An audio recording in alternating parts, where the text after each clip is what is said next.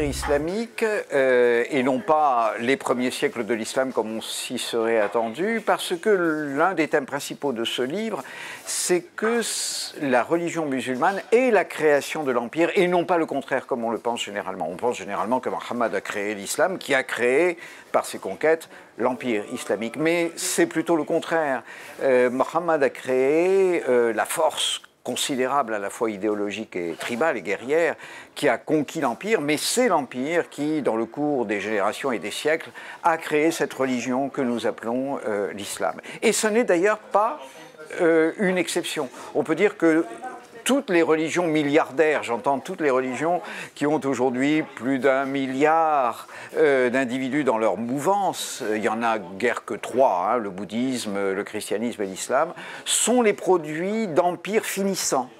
Euh, le christianisme est le produit de l'empire romain finissant, le bouddhisme est, tel que nous le connaissons aujourd'hui, le produit de l'empire chinois euh, des Han finissant au 3e et 4e siècle de notre ère, et donc l'islam est le produit de l'empire islamique, la religion musulmane est le produit de l'empire islamique euh, quand il s'est sédentarisé, quand il s'est euh, organisé, consolidé, euh, c'est-à-dire dans les quatre premiers siècles de son existence, c'est-à-dire ces siècles que décrit ce livre.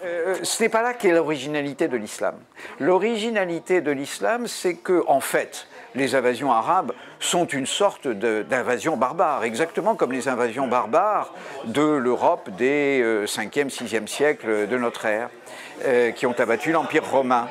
Mais la différence entre euh, les invasions islamiques et les invasions barbares occidentales, c'est que dans le cas des invasions barbares en Occident, les Romains vaincus ont assez rapidement réussi à imposer à leurs vainqueurs germaniques leur langue latine et leur religion chrétienne. Tandis que dans le cas de l'islam, ce sont les barbares, c'est-à-dire les Arabes conquérants, qui ont imposé leur langue arabe et leur religion musulmane au détriment des civilisés entre guillemets qu'ils avaient conquis, c'est-à-dire des Perses, des Coptes en Égypte ou des Syriaques en Syrie et en Irak. C'est là la véritable surprise euh, de, de, l'histoire de l'islam et c'est cette surprise que euh, ce livre s'efforce essentiellement d'élucider, d'explorer.